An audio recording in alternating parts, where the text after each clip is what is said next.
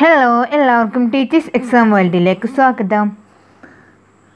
നമ്മളിപ്പോൾ എടുത്തുകൊണ്ടിരിക്കുന്നത് എട്ടാം ക്ലാസ്സിലെ ഹൈസ്കൂളിലാണ് സോഷ്യൽ സയൻസിലെ മൂന്നാമത്തെ ചാപ്റ്ററാണ് ഇന്ന് എടുക്കാൻ പോകുന്നത്. ഇതിനു മുമ്പുള്ള ഒന്നാമത്തെയും രണ്ടാമത്തെയും ചാപ്റ്റേഴ്സും മോക്ക് ടെസ്റ്റ് അറ്റൻഡ് ചെയ്യാത്തവർ എന്തായാലും പോയിട്ട് ചെയ്യാം.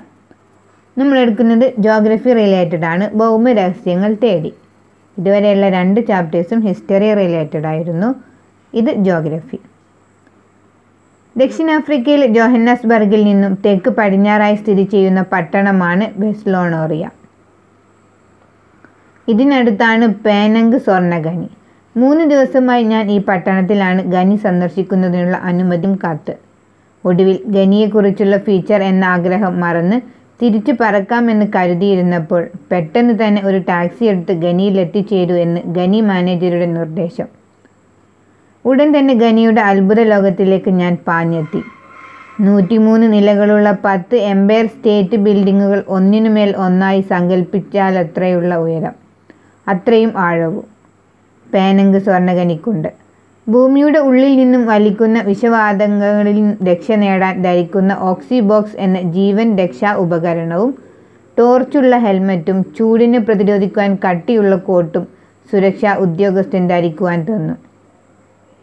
അതോടൊപ്പം തന്നെ അവ ധരിക്കേണ്ട വിധവും വിശദീകരിച്ചു. നൂറ് പേരെ വരെ ഉൾക്കൊള്ളാൻ ശേഷിയുള്ള എലിവേറ്റർ കാർ എന്ന വാഹനത്തിലായിരുന്നു താഴേക്കുള്ള യാത്ര. ആഴം കൂടിയപ്പോൾ ചൂട് ക്രമേണ വർദ്ധിക്കുകയും മർദ്ദവ്യതിയാനം മൂലം ചെവികൾ അടയുകയും ചെയ്തു. എലിവേറ്ററിന് മുകളിൽ നിന്നുള്ള പ്രകാശമായിരുന്നു ഒരേ ഒരു പ്രകാശ സ്രോതസ് ഒരായിരം ചിന്തകളും അതിലേറെ കൗതുകങ്ങളുമായി ഗനിയുടെ അത്ഭുത ലോകത്തിലേക്ക് ഞാൻ താഴ്ന്നിറങ്ങി. ഒരു പത്രപ്രവർത്തകൻ ഖനിയിലെ തന്റെ അനുഭവങ്ങളെ സംബന്ധിച്ച് എഴുതിയ ഡയറി കുറിപ്പാണ് ഇപ്പോൾ വായിച്ചത്. ഭൂമിയുടെ ഉപരിതലത്തിൽ നിന്നും ഉള്ളിലേക്ക് കടക്കുമ്പോൾ ഒരുപാട് മാറ്റങ്ങളാണ് ഉണ്ടാകുന്നത്. നാം വസിക്കുന്ന ഭൂമിയുടെ ഉള്ളറ അത്ഭുതങ്ങളുടെ ഒരു കലവറയാണ്. എന്നാൽ ആ ഉള്ളറ രഹസ്യങ്ങളെപ്പറ്റി നേരിട്ട് വിവരശേഖരണം നടത്താൻ നമുക്ക് ഒരുപാട് പരിമിതികളുണ്ട്. എന്തൊക്കെയാണ് പരിമിതികൾ? ഭൂമിയിൽ ആഴം കൂടുന്നതിനനുസരിച്ച് താപവും മർദ്ദവും കൂടുന്നു.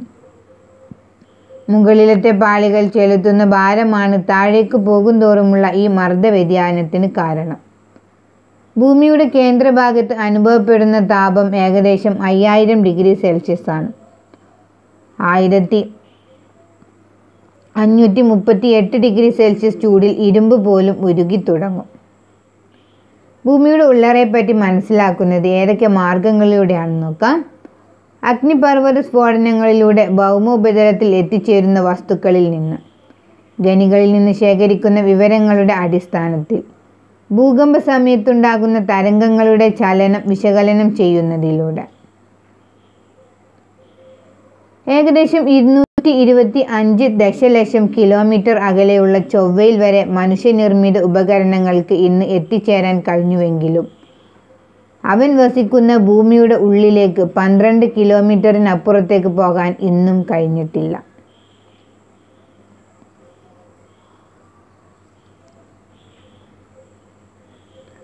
ഭൂകമ്പ സമയത്ത് സൃഷ്ടിക്കപ്പെടുന്ന തരംഗങ്ങളെ വിശകലനം ചെയ്തതിന്റെ അടിസ്ഥാനത്തിൽ ഭൂമിയെ വ്യത്യസ്ത പാളികളായി തരംതിരിച്ചിട്ടുണ്ട്. അകക്കാമ്പ് പുറക്കാമ്പ് മാൻഡിൽ ഭൂവൽക്കം. അകക്കാമ്പ് മീൻസ് ഇന്നർ കോർ പുറക്കാമ്പ് ഔട്ടർ കോർ മാൻഡിൽ മാൻഡിൽ. ഭൂവൽക്കം ക്രസ്റ്റ്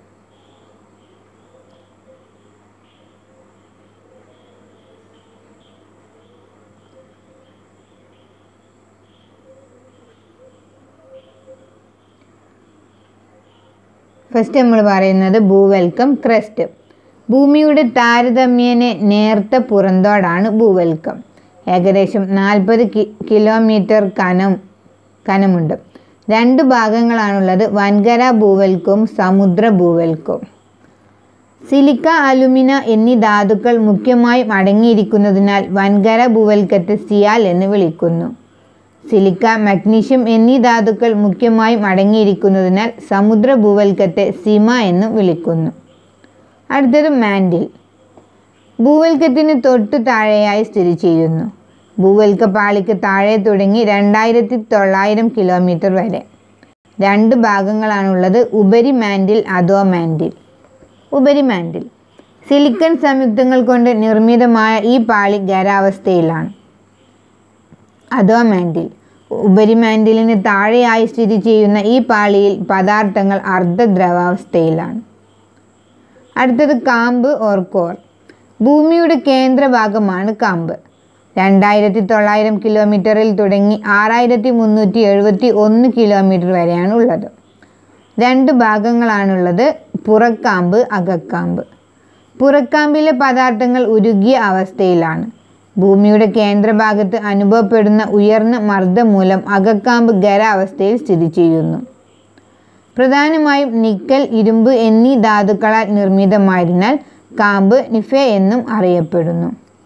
പ്രധാനപ്പെട്ട ഒരു ഭാഗമാണ് ഭൂമിയുടെ ഈ പാളികൾ കേട്ടോ ശരിക്കും നോട്ട് എഴുതി വെക്കണേ. അടുത്തത് ശിലാമണ്ഡലവും അസ്തനോസ്ഫിയറും. ഭൂവൽക്കത്തെയും മാൻഡിലിന്റെ ഉപരിഭാഗത്തെയും ചേർത്ത് ശിലാമണ്ഡലം ഓർ ലിത്തോസ്ഫിയർ എന്ന് വിളിക്കുന്നു. ശിലാമണ്ഡലത്തിന് താഴെയായി ശിലാപദാർത്ഥങ്ങൾ ഉരുകി അർദ്ധദ്രവാവസ്ഥയിൽ കാണപ്പെടുന്ന ഭാഗമാണ് അസ്തനോസ്ഫിയർ. അഗ്നിപർവതങ്ങളിലൂടെ പുറത്തെത്തുന്ന ശിലാദ്രവത്തിന്റെ ലാവ സ്രോതസ്സാണ് അസ്തനോസ്ഫിയർ. ഫോസിലുകൾ. പ്രാചീന കാലത്ത് ഭൂമുഖത്തുണ്ടായിരുന്ന ജീവജാലങ്ങളുടെ അവശിഷ്ടങ്ങൾ അവസാദ ശിലപ്പാളികൾക്കിടയിൽ കാണപ്പെടാറുണ്ട്. ഇവയെ ഫോസിലുകൾ എന്ന് വിളിക്കുന്നു.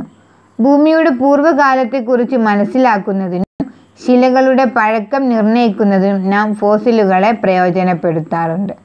കൽക്കരി പെട്രോളിയം പ്രകൃതിവാതകം തുടങ്ങിയവ പ്രാചീനകാല ജീവജാലങ്ങളുടെ അവശിഷ്ടങ്ങളിൽ നിന്ന് രൂപപ്പെട്ടിട്ടുള്ളതാണ്. അതിനാൽ അവയെ ഫോസിൽ ഇന്ധനങ്ങളെന്നും വിളിക്കാറുണ്ട്. ഫോസിലുകളെക്കുറിച്ച് കൂടുതൽ വിവരങ്ങൾ നിങ്ങൾക്ക് തന്നെ അറിയാം.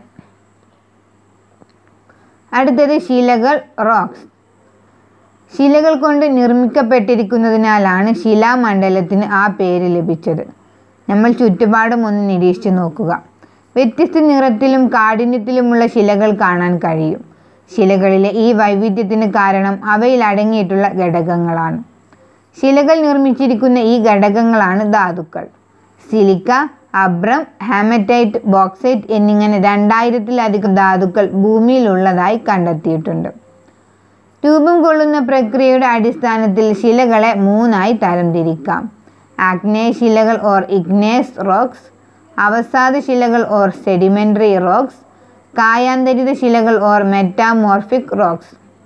അഗ്നായ ശിലകൾ. ഭൂവൽക്കത്തിലെ വിടവുകളിലൂടെ ഉയരുന്ന ഉരുകിയ ശിലാദ്രവം ഈ ഭൗമോപരിതലത്തിൽ വെച്ചോ ഭൂവൽക്കത്തിനുള്ളിൽ വെച്ചോ തണുത്തുറഞ്ഞ് രൂപപ്പെടുന്ന ശിലകളാണ് ആഗ്നേയ ശിലകൾ. ഉദാഹരണം ഗ്രാനൈറ്റ് ബസാൾട്ട്. മറ്റെല്ലാ ശിലകളും ആഗ്നേയ ശിലകൾക്ക് രൂപമാറ്റം സംഭവിച്ച് രൂപം കൊള്ളുന്നതിനാൽ ആഗ്നേയ ശിലകൾ പ്രാഥമിക ശിലകൾ എന്ന് അറിയപ്പെടുന്നു. അവസാദ ശിലകൾ. കാലാന്തരത്തിൽ ശിലകൾ ക്ഷയിച്ചു പൊടിയുന്നു. ഈ അവസാദങ്ങൾ താഴ്ന്ന പ്രദേശങ്ങളിൽ പാളികളായി നിക്ഷേപിക്കപ്പെടുകയും പിന്നീട് അവ ഉറച്ച് വിവിധ തരം അവസാദ ശിലകളായി മാറുകയും ചെയ്യുന്നു. ഉദാഹരണം മണൽക്കല്ല് ചുണ്ണാമ്പുകല്ല്. പാളികളായി രൂപപ്പെടുന്നത് കൊണ്ട് അവസാദ ശിലകൾ അടുക്കു ശിലകൾ എന്നും അറിയപ്പെടുന്നു. അടുത്തത് കായാന്തരിത ശിലകൾ. ഉയർന്ന മർദ്ദം മൂലമോ താപം മൂലമോ ശിലകൾ ഭൗതികമായും രാസപരമായും മാറ്റങ്ങൾക്ക് വിധേയമായാണ് കായാന്തരിത ശിലകൾ രൂപപ്പെടുന്നത്. ഉദാഹരണം മാർബിൾ സ്ലേറ്റ് കായാന്തരിത ശിലകളാണ് കേരളത്തിൽ ഏറ്റവും കൂടുതലായി കാണപ്പെടുന്നത്. ശിലകൾ അവ രൂപപ്പെട്ട അതേ അവസ്ഥയിൽ തന്നെ എക്കാലവും തുടരണം എന്നില്ല. അവ കാലാന്തരത്തിൽ പലവിധ മാറ്റങ്ങൾക്കും വിധേയമായി കൊണ്ടിരിക്കുന്നുണ്ട് ശിലകൾ ഒന്നിൽ നിന്ന് മറ്റൊന്നിലേക്ക് എന്നുള്ള ശിലാചക്രം ഓർ റോക്ക് സൈക്കിളാണ് ഇവിടെ കൊടുത്തിട്ടുള്ളത്.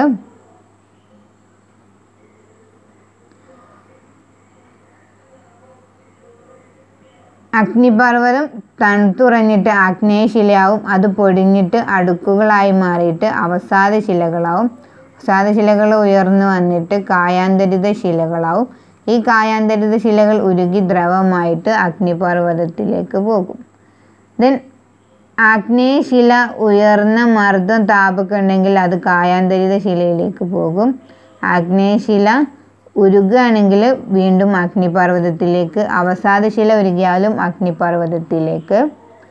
പിന്നെ കായാന്തരിത ശില പൊടിഞ്ഞാൽ അത് അപശയം സംഭവിച്ച് പൊടിയുമ്പോൾ അടുക്കുകളാകും. ദെൻ അവസാദശിലയിലേക്ക് മാറും. അവസാദശില പൊടിഞ്ഞാലും അടുക്കുകളായിട്ട് മാറും. ഇങ്ങനെ ഒന്നും ഒന്നുമായിട്ട് തമ്മിൽ ബന്ധപ്പെട്ട് കൊണ്ടിരിക്കുകയാണ് അപക്ഷയം ഓർ വെതറിങ്. വിവിധ തരം വിവിധ തരം ശിലകളെ പറ്റി മനസ്സിലാക്കി. അവ കാലാന്തരത്തിൽ പലവിധ മാറ്റങ്ങൾക്ക് വിധേയമായി കൊണ്ടിരിക്കും ഇത്തരത്തിൽ ശിലകൾ പൊട്ടിപ്പൊടിയുകയോ വിഘടിക്കുകയോ ചെയ്യുന്ന പ്രക്രിയകളെ അപക്ഷയം എന്ന് വിളിക്കുന്നു. അപക്ഷയം മൂലം ശിലകൾക്ക് രാസപരമായും ഭൗതികമായും മാറ്റങ്ങൾ ഉണ്ടാകുന്നു. ഭൗതിക അപക്ഷയം or physical or mechanical weathering താപത്തിലെ ഏറ്റക്കുറച്ചിലുകൾ കാരണം ശിലാധാതുക്കൾക്കുണ്ടാകുന്ന വികാസവും സങ്കോചവും അപക്ഷയത്തിന് കാരണമാകുന്നു. കൂടാതെ വിള്ളലുകൾക്കുള്ളിൽ ജലം തണുത്തുറയുന്നത് കൊണ്ടും ശിലകൾ പൊടിയാറുണ്ട്. അടുത്തത് രാസിക അപക്ഷയം chemical weathering oxygen carbon dioxide ജലം തുടങ്ങിയ ഘടകങ്ങൾ ശിലകളിലെ ധാതുക്കളുമായും രാസപ്രവർത്തനത്തിൽ ഏർപ്പെടുകയും ശിലകളിൽ രാസപരമായ വിഘടനത്തിന് കാരണമാവുകയും ചെയ്യുന്നു. ജൈവിക അപക്ഷയം ബയോളജിക്കൽ വെതറിംഗ് സസ്യങ്ങളുടെ വേരുകൾ ശിലകളിലെ വിടവുകളിലേക്ക് ആഴ്ന്നിറങ്ങുന്നതും ചെറുജീവികൾ മാളങ്ങൾ ഉണ്ടാക്കുന്നതും സസ്യജന്തു അവശിഷ്ടങ്ങളുടെ ജീർണനവുമൊക്കെ അപക്ഷയത്തിന് കാരണമാകുന്നു. കൂടാതെ ഖനനം പാറപ്പൊട്ടിക്കൽ തുടങ്ങിയ മനുഷ്യപ്രവർത്തനങ്ങളും അപക്ഷയത്തിലേക്ക് നയിക്കുന്നു.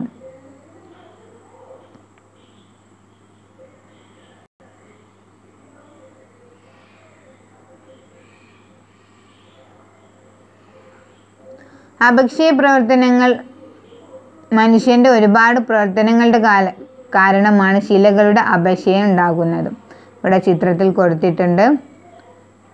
പാറ പൊട്ടിക്കൽ ഒരു എക്സാമ്പിളാണ് അല്ലേ അപക്ഷയ പ്രവർത്തനങ്ങൾ മനുഷ്യനെ പലതരത്തിൽ സഹായിക്കാറുണ്ട്. ശിലകളിലെ ധാതുക്കൾ വേർതിരിക്കപ്പെടുന്നു ഖനന പ്രവർത്തനങ്ങളെ സഹായിക്കുന്നു അപക്ഷയം മണ്ണിന്റെ രൂപീകരണത്തിന് കാരണമാകുന്നു. മണ്ണ് ജനിക്കുന്നു. നമ്മൾക്ക് ഏറെ പരിചിതമായ പ്രകൃതി വിഭവമാണ് മണ്ണ്. മണ്ണ് എങ്ങനെയാണ് രൂപപ്പെടുന്നത്? അപക്ഷയ പ്രക്രിയയിലൂടെ ശിലകൾ പൊടിഞ്ഞും ജൈവ അവശിഷ്ടങ്ങൾ ജീർണിച്ചു ചേർന്നതും അതിദീർഘകാലത്തെ പ്രക്രിയകൾ വഴിയാണ് ഇന്ന് കാണുന്ന മണ്ണ് രൂപം കൊണ്ടിട്ടുള്ളത്. ഒരു ഇഞ്ച് കനത്തിൽ മണ്ണ് രൂപപ്പെടാൻ ആയിരത്തിലധികം വർഷങ്ങൾ വേണ്ടിവരും. മണ്ണിന്റെ രൂപീകരണത്തെ സ്വാധീനിക്കുന്ന ഘടകങ്ങളാണ് താഴെ കൊടുത്തിട്ടുള്ളത് കേട്ടോ ഭൂപ്രകൃതി ഓർ ടോപ്പോഗ്രഫി മാതൃശില ഓർ പാരന്റ് റോക്ക് സമയം അടുത്തത് സസ്യങ്ങളും ജന്തുക്കളും ഓർ ഓർഗാനിസംസ് ക്ലൈമറ്റ് ഓർ കാലാവസ്ഥ. മണ്ണിനെക്കുറിച്ച് പഠിക്കുന്ന ശാസ്ത്രശാഖയാണ് പെഡോളജി ഈ ശാസ്ത്രശാഖയുമായി ബന്ധപ്പെട്ട ശാസ്ത്രജ്ഞൻ പെഡോളജിസ്റ്റ് എന്ന് അറിയപ്പെടുന്നു. മണ്ണിനെ സ്വാധീനിക്കുന്ന ചില ഘടകങ്ങളെക്കുറിച്ച് പറഞ്ഞു. കാലാവസ്ഥ ക്ലൈമറ്റ് തണുപ്പേറിയ സാഹചര്യങ്ങളിൽ മണ്ണിന്റെ രൂപീകരണം സാവധാനത്തിലായിരിക്കും. അടുത്തത് ഭൂപ്രകൃതി ഓർ ടോപ്പോഗ്രഫി ചെങ്കുത്തായ ചെരുവുകളിൽ മണ്ണിന് കനം കുറവായിരിക്കും. അടുത്തത് സസ്യങ്ങളും ജന്തുക്കളും ഓർ ഓർഗാനിസംസ്. സസ്യങ്ങളും ജന്തുക്കളും അഴുകുന്നതിന്റെ ഫലമായി ഉണ്ടാകുന്ന അമ്ലം ശിലകളുടെ അപക്ഷയത്തിന് കാരണമാകുന്നു. ദെൻ മാതൃശില. മണ്ണിലെ ധാതുക്കളും മണ്ണിന്റെ ഘടനയും അവ ഏത് ശിലകളിൽ നിന്നും രൂപം കൊള്ളുന്നു എന്നതിനെ ആശ്രയിച്ചാണ് ഇരിക്കുന്നത്. അടുത്തത് സമയം. മണ്ണിന്റെ കനവും ഘടനയും അത് രൂപം കൊള്ളാൻ എടുക്കുന്ന സമയത്തെ ആശ്രയിച്ചിരിക്കും. മണ്ണിന്റെ രൂപീകരണത്തെ സ്വാധീനിക്കുന്ന ഘടകങ്ങളായ ഭൂപ്രകൃതി കാലാവസ്ഥ തുടങ്ങിയവയിലുള്ള അന്തരങ്ങൾ മൂലം വ്യത്യസ്തങ്ങളായ മണ്ണിനങ്ങൾ രൂപപ്പെടുന്നു. മണ്ണ് ജീവന്റെ നിലനിൽപ്പിന്. മണ്ണില്ലെങ്കിൽ സസ്യങ്ങളില്ല. അവയെ ആശ്രയിക്കുന്ന ജന്തുക്കളും. അപ്പോൾ മനുഷ്യരുടെ കഥ ഏറെയില്ല. ഭൂമിയിലെ ജീവന് സാധ്യമാക്കുന്ന പ്രധാന ഘടകങ്ങളിൽ ഒന്നാണ് മണ്ണ്. സസ്യങ്ങൾ മണ്ണിലെ പോഷക ഘടകങ്ങൾ വലിച്ചെടുത്ത് സൂര്യപ്രകാശത്തിന്റെ സഹായത്തോടെ ആഹാരം ഉൽപ്പാദിപ്പിക്കുന്നു. ഈ സസ്യങ്ങളെ മനുഷ്യനും മറ്റു ജന്തുജാലങ്ങളും ആഹാരമാക്കുന്നു. സസ്യ ജന്തുജാലങ്ങൾക്ക് നാശം സംഭവിക്കുമ്പോൾ അവ മണ്ണിൽ തന്നെ ലയിക്കുന്നു. ഒരു ഭക്ഷ്യശൃംഖലയുടെ പ്രവർത്തനമാണ് ഇപ്പോൾ പറഞ്ഞത്. മണ്ണ് എന്തിനൊക്കെ വേണ്ടിയിട്ടാണ് ഉപയോഗപ്പെടുത്തുന്നത്? കാർഷിക പ്രവർത്തനങ്ങൾക്ക് വേണ്ടിയിട്ട് കൃഷിക്ക് വേണ്ടിയിട്ട് നിർമ്മാണ പ്രവർത്തനങ്ങൾക്ക് വേണ്ടിയിട്ട് ഇഷ്ടിക ഇഷ്ടിക നിർമ്മിക്കാൻ അങ്ങനെ ഒരുപാട് ചിത്രങ്ങൾ ഇവിടെ കൊടുത്തിട്ടുണ്ട്. മൺ മൺപാത്ര നിർമ്മാണം. വനനശീകരണം കുന്നിടിക്കൽ അശാസ്ത്രീയമായ കാർഷിക പ്രവർത്തനങ്ങൾ തുടങ്ങിയ മനുഷ്യ പ്രവർത്തനങ്ങൾ മൂലം മണ്ണിന് ശോഷണം സംഭവിക്കുന്നു. മരങ്ങളുടെ വേരുകൾ മണ്ണിനെ ഒരു വല കൊണ്ടെന്നെ പോലെ തടഞ്ഞു നിർത്തുന്നു. ഈ മരങ്ങൾ വെട്ടി നശിപ്പിച്ച് പരിസ്ഥിതി സവിശേഷതകൾ കണക്കിലെടുക്കാതെ ഉഴുതും മറിച്ച് കടും കൃഷി നടത്തുന്നു. മനുഷ്യൻ മണ്ണിനെ ഇഞ്ചിഞ്ചായി കൊല്ലുന്നു. പ്രകൃതിയിൽ ജൈവപരമായ ജീർണന പ്രക്രിയക്ക് വിധേയമാകാത്ത പ്ലാസ്റ്റിക് പോലുള്ളവ മണ്ണിന്റെ മലിനീകരണത്തിന് കാരണമാകുന്നു. മണ്ണിന്റെ ഘടനയെ തന്നെ മാറ്റിമറിക്കുന്നതാ മാറ്റിമറിക്കുന്ന അമിത രാസവള പ്രവർത്തനങ്ങളും മണ്ണിന്റെ നാശത്തിന് കാരണമാകുന്നു. അശാസ്ത്രീയ നിർമ്മാണം ഖനന പ്രവർത്തനങ്ങളും. ദെൻ കൃഷിഭൂമി കാർഷികേതര ആവശ്യങ്ങൾക്കായിട്ട് ഉപയോഗിക്കുന്നത്. വൻതോതിൽ മണ്ണിലേക്ക് മലിനജലം ഒഴുക്കുന്നത്. അമിതമായ കന്നുകാലി മേച്ചിൽ ഇതെല്ലാം മണ്ണിന്റെ നാശത്തിന് കാരണമാകുന്നു. മണ്ണ് സംരക്ഷിക്കാം. മേൽമണ്ണ് നഷ്ടമായാൽ അവശേഷിക്കുന്നത് ഊഷര ഭൂമിയോ പാറനിരപ്പോ ആയിരിക്കും. മേൽമണ്ണ് പുനഃസൃഷ്ടിക്കപ്പെടാൻ ആയിരക്കണക്കിന് വർഷങ്ങൾ വേണ്ടിവരും. പ്രകൃതിയിൽ ജീവന്റെ നാമ്പുകൾ തുടർന്നും മുളപൊട്ടാൻ മേൽമണ്ണ് തന്നെ വേണം. അതിന് സംരക്ഷണമല്ലാത്ത മറ്റു മാർഗങ്ങളില്ല. മണ്ണിന് സംരക്ഷിക്കുന്ന മാർഗങ്ങൾ വനനശീകരണം തടയാം വിള പരിവൃത്തി മലഞ്ചെരുവുകളിലെ തട്ടുകൃഷി തടയണ നിർമ്മാണം. മണ്ണ് ഇല്ലാതായാൽ ഭൂമി നിർജീവമാകും ഈ സ്ഥിതിക്ക് ഭൂമിക്ക് വരാതിരിക്കാനുള്ള പ്രവർത്തനങ്ങളിൽ പങ്കാളികളാക്കാം. നമ്മ അപ്പോൾ ഇത്രയൊക്കെയാണ് ഈ ചാപ്റ്റർ ആ കഴിഞ്ഞിട്ടില്ല. മണ്ണിനൊരു ദിനം. മണ്ണ് സംരക്ഷണത്തിന്റെ പ്രാധാന്യം ജനങ്ങളിൽ എത്തിക്കുന്നതിനായി ഐക്യരാഷ്ട്ര സംഘടന എല്ലാ വർഷവും ഡിസംബർ പതിനഞ്ചിന് ലോക മണ്ണ് ദിനമായി ആചരിക്കുന്നു. വേൾഡ് സോയിൽ ഡേ ആണ് ഡിസംബർ പതിനഞ്ച്. ഇന്റർനാഷണൽ ഇയർ ഓഫ് സോയിൽസ് അന്താരാഷ്ട്ര മണ്ണ് വർഷമാണ് രണ്ടായിരത്തി പതിനഞ്ച്. അപ്പോൾ നമുക്ക് ഒരുമിച്ച് മണ്ണ് സംരക്ഷിക്കാം ഇന്നേക്കും എന്നേക്കും. അപ്പോൾ ഇത്രയാണ് മൂന്നാമത്തെ ചാപ്റ്ററായ ഭൗമ രഹസ്യങ്ങൾ തേടി എന്നുള്ള ഈ ചാപ്റ്ററിലെ പ്രധാനപ്പെട്ട കാര്യങ്ങൾ. ഇന്ന് എന്തൊക്കെ പഠിച്ചു നോക്കാം. ഭൂമിയുടെ ഉള്ളറക്ക് പാളികളായിട്ടുള്ള ഘടനയാണുള്ളത്. ഓരോ ഭൗമപാളിക്കും അതിന്റേതായ സവിശേഷതകളുണ്ട്. ശിലകളെ അവ രൂപം കൊള്ളുന്ന പ്രക്രിയയുടെ അടിസ്ഥാനത്തിൽ ആഗ്നേയശില അവസാദശില കായാന്തരിത ശില എന്നിങ്ങനെയൊക്കെ വർഗീകരിച്ചിട്ടുണ്ട്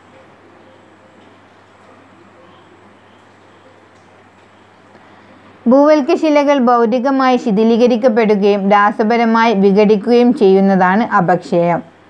ശിലകൾക്കുണ്ടാകുന്ന അപക്ഷയമാണ് മണ്ണിന്റെ രൂപീകരണത്തിന് അടിസ്ഥാന കാരണം.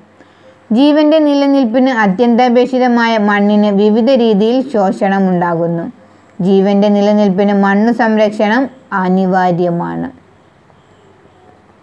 അപ്പോൾ ഭൂമിയുടെ ഓരോ പാളികൾ പറഞ്ഞിട്ടുണ്ടായിരുന്നു. ഭൂവൽക്കം മാൻഡിൽ ക്യാമ്പ് ഭൂവൽക്കത്തിന് രണ്ട് ഭാഗങ്ങളായി. കരഭാഗവും സമുദ്രഭാഗവും സിയാൽ ആൻഡ് സിമ. മാൻഡിലിനെ ഉപരി മാൻഡിലെന്നും അധോ മാൻഡിലായിട്ടും വേർതിരിച്ചു. കാമ്പ് പുറക്കാമ്പ് അകക്കാമ്പ്.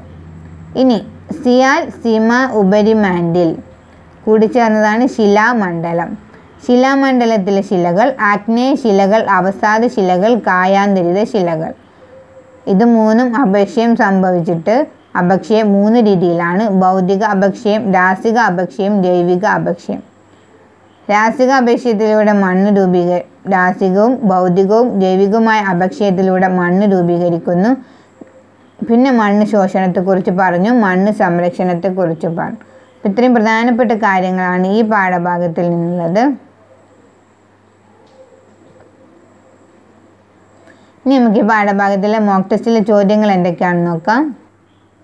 ഇപ്പം നമുക്ക് മോക്ക് ടെസ്റ്റിലേക്ക് പോകാം. ഇന്നത്തെ മോക്ക് ടെസ്റ്റിൽ മുപ്പത് ചോദ്യങ്ങളാണുള്ളത്. എല്ലാവരും നിങ്ങളുടെ നോട്ട്ബുക്കിൽ പോയിന്റ്സ് എഴുതി വെച്ചിട്ടുണ്ടാകും. എഴുതി വെക്കാത്തവർ എഴുതി വെച്ചതിന് ശേഷം മാത്രം മോക്ക് ടെസ്റ്റ് അറ്റൻഡ് ചെയ്യാം കേട്ടോ അപ്പോൾ ഓക്കെ ഒന്നാമത്തെ ചോദ്യം.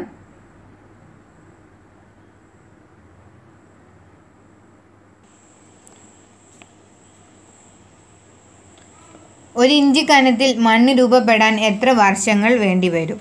ഒരു ഇഞ്ച് കനത്തിൽ മണ്ണ് രൂപപ്പെടാൻ എത്ര വർഷങ്ങൾ വേണ്ടിവരും? രണ്ടാമത്തെ ചോദ്യം. അഗ്നിപർവതങ്ങളിലൂടെ പുറത്തെത്തുന്ന ശിലാദ്രവത്തിനെ വിളിക്കുന്ന പേര്. അഗ്നിപർവതങ്ങളിലൂടെ പുറത്തെത്തുന്ന ശിലാദ്രവം ഏത്? മൂന്ന്. ബസാൾട്ട് ഏത് ശിലക്ക് ഉദാഹരണമാണ്? ബസാൾട്ട് ഏത് ശിലക്ക് ഉദാഹരണമാണ്? നാല്. മണ്ണിന് കനം കുറവായ ഭൂപ്രകൃതി ഏത്? മണ്ണിന് കനം കുറവായ ഭൂപ്രകൃതി. അഞ്ച് ഭൂമിയുടെ ഉള്ളറയുടെ ഘടന എങ്ങനെ? ഭൂമിയുടെ ഉള്ളറയുടെ ഘടന എങ്ങനെ? ആറ് പേനങ്ക് സ്വർണഖനി എവിടെ സ്ഥിതി ചെയ്യുന്നു? പേനങ്ക് സ്വർണഖനി എവിടെ സ്ഥിതി ചെയ്യുന്നു? ഏഴ് സമുദ്ര ഭൂവൽക്കത്തെ എന്താണ് വിളിക്കുന്നത്? സമുദ്ര ഭൂവൽക്കത്തെ എന്ത് വിളിക്കുന്നു? എട്ട് ശിലകളുടെ പഴക്കം നിർണയിക്കാൻ ഉപയോഗിക്കുന്നത് എന്ത്? ശിലകളുടെ പഴക്കം നിർണയിക്കാൻ ഉപയോഗിക്കുന്നത് എന്ത്? ഒമ്പത്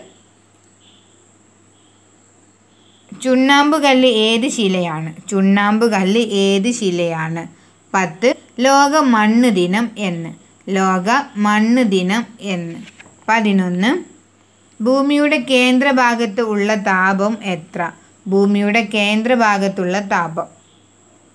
പന്ത്രണ്ട് സിമയിൽ അടങ്ങിയിട്ടുള്ള ധാതുക്കൾ ഏതൊക്കെ? സിമയിൽ അടങ്ങിയിട്ടുള്ള ധാതുക്കൾ. പതിമൂന്ന് കൽക്കരി എന്തിന് ഉദാഹരണമാണ്? കൽക്കരി എന്തിന് ഉദാഹരണമാണ്? പതിനാല് മാർബിൾ ഏത് ശിലയാണ്? മാർബിൾ ഏത് ശിലയാണ്? പതിനഞ്ച് അന്താരാഷ്ട്ര മണ്ണ് വർഷം എന്ന്. അന്താരാഷ്ട്ര മണ്ണ് വർഷം എന്ന്. പതിനാറ്. ഭൂമിയുടെ പുറന്തോട് ഏത്? ഭൂമിയുടെ പുറന്തോട് ഏത്? പതിനേഴ്. ഭൂവൽക്കത്തിന് താഴെയുള്ള പാളി ഏത്? ഭൂവൽക്കത്തിന് താഴെയുള്ള പാളി. പതിനെട്ട്. ശിലകൾ നിർമ്മിച്ചിരിക്കുന്ന ഘടകങ്ങൾ എന്ത്? ശിലകൾ നിർമ്മിച്ചിരിക്കുന്ന ഘടകങ്ങൾ എന്ത്? പത്തൊമ്പത്. കേരളത്തിൽ ഏറ്റവും കൂടുതൽ കാണുന്ന ശില ഏത്? കേരളത്തിൽ ഏറ്റവും കൂടുതൽ കാണുന്ന ശിലകൾ. ഇരുപത്. മണ്ണിന്റെ രൂപീകരണ കാരണം എന്ത്? മണ്ണിന്റെ രൂപീകരണ കാരണം എന്ത്? ഇരുപത്തി ഒന്ന്. വൻകര ഭൂവൽക്കത്തെ എന്താണ് അറിയപ്പെടുന്നത്? വൻകര ഭൂവൽക്കം എന്താണ് അറിയപ്പെടുന്നത്? ഇരുപത്തിരണ്ട്. ഭൂമിയുടെ കേന്ദ്രഭാഗം ഏത്? ഭൂമിയുടെ കേന്ദ്രഭാഗം. ഇരുപത്തി മൂന്നാമത്തെ ചോദ്യം. അടുക്കുശിലകൾ എന്നറിയപ്പെടുന്ന ശില ഏത്? അടുക്കുശിലകൾ എന്നറിയപ്പെടുന്ന ശില. ഇരുപത്തി നാല്.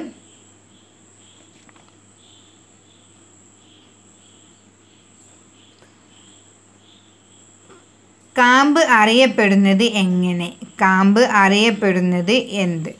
ഇരുപത്തി അഞ്ചാമത്തെ ചോദ്യം. മണ്ണിനെക്കുറിച്ച് പഠിക്കുന്ന ശാസ്ത്രജ്ഞനെ എന്തു വിളിക്കും? മണ്ണിനെക്കുറിച്ച് പഠിക്കുന്ന ശാസ്ത്രജ്ഞനെ എന്തു വിളിക്കും? ഇരുപത്തി ആറ്. സിയാലിൽ അടങ്ങിയിട്ടുള്ള ധാതുക്കൾ ഏതൊക്കെ? സിയാലിലെ ധാതുക്കൾ. ഇരുപത്തി ഏഴ് പ്രാഥമിക ശിലകൾ എന്നറിയപ്പെടുന്നത് ഏത്? പ്രാഥമിക ശിലകൾ എന്നറിയപ്പെടുന്നത് ഏത്? ഇരുപത്തി എട്ട് നിഫയിൽ അടങ്ങിയിട്ടുള്ള ധാതുക്കൾ ഏതൊക്കെ? നിഫയിൽ അടങ്ങിയിട്ടുള്ള ധാതുക്കൾ. ഇരുപത്തി ഒമ്പത് അപക്ഷയം സംഭവിക്കുന്നത് എത്ര രീതികളിലാണ്? മണ്ണിന് അപക്ഷയം സംഭവിക്കുന്നത് എത്ര രീതികളിലാണ്? മുപ്പത്.